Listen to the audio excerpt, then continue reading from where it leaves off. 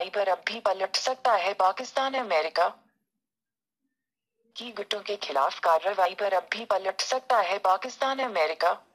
अगला समाचार सुने।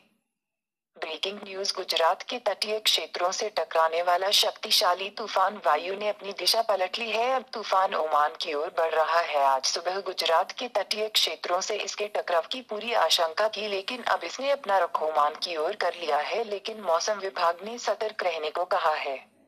अगला समाचार सुने। सीतापुर सत्याग्रह ट्रेन के इस दो कोच का ब्रेक फेल होने से लगी आग।